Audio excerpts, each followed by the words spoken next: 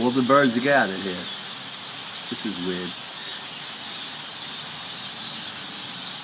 Making that noise. I had to take a video of this. Very strange. I mean, I could hear from inside. I had to come out and see what was going on.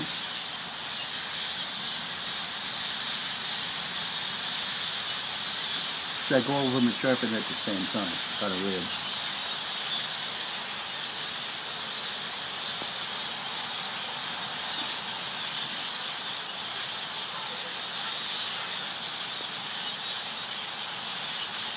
Didn't see anything like that before.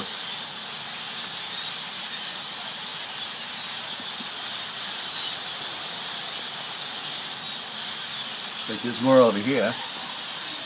You got the tray.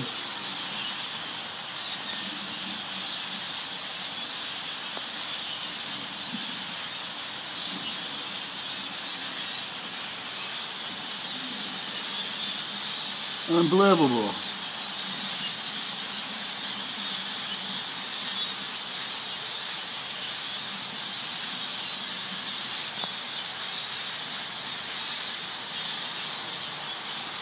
Okay, signing out. This is a Sunday night. Don't really forget what time it is. Probably between five and six. Everybody, how you doing? Uh, today I'm talking about pets. We all had pets when we were kids.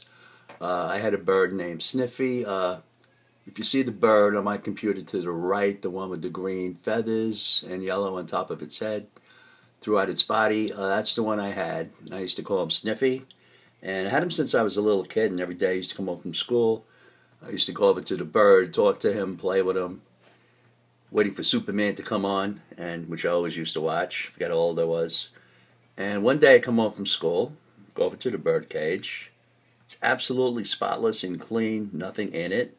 And I said, Ma, I said, what happened to Sniffy? And she goes, sit down, I have something sad to tell you. So I sit down on the sofa.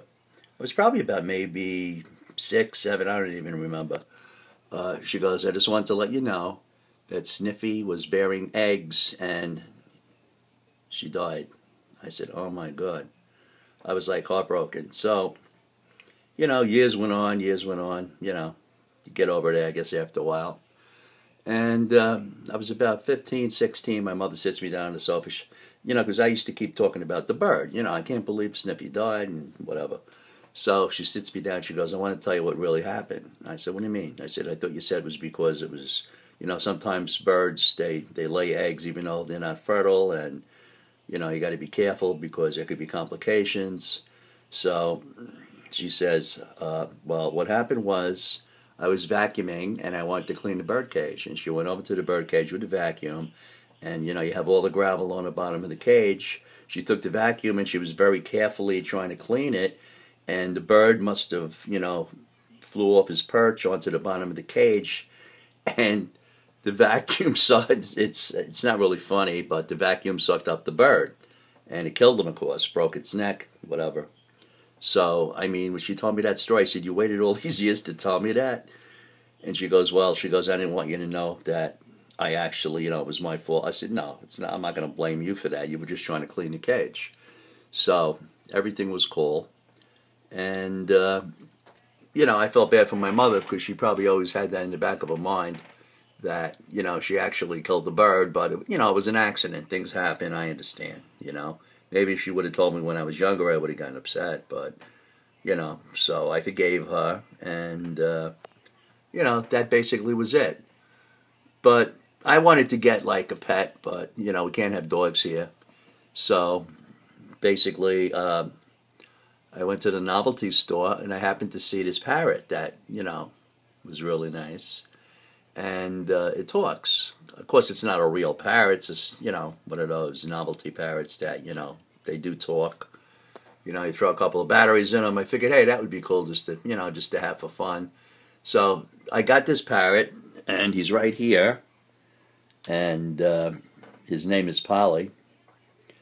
And uh, he's pretty he's pretty cool. It's pretty funny. And uh, yeah, let me show you. I got to put put him on. Hold on one second. See if I can put him on here. Okay, I'm just trying to put him on. There he goes. And he talks. He's really cool. And uh, let's see. Hey, Polly. How you doing, Polly? Guess he's not talking. Gotta shake them up a little sometimes. Come on. Who's the fucker then? Who's the fucker then? Hey, I told you, watch your mouth. Polly wants a fucking cracker. Polly wants a fucking cracker. Give Polly a fucking cracker now. Hey, I told you. Hey, Hey, baby, show us your tits. oh man, I'll tell you, this this bird is. Ri- Stop. A.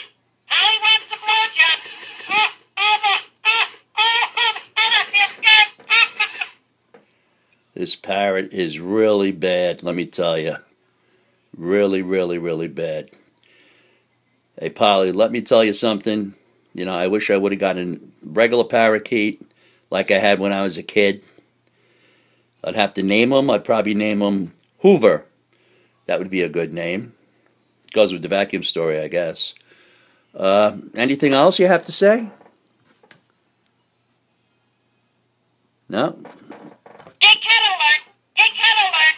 Get cat alert. What the hell's the matter with you, man? Who's a pretty Polly? Who's a pretty Polly? Not your lord ass. Lord ass, you're funny. hey, you. Go fuck yourself. This this parrot is really a lot of laughs, you know. Okay.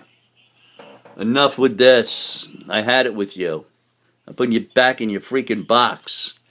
Learn some manners, huh? Get no respect from you.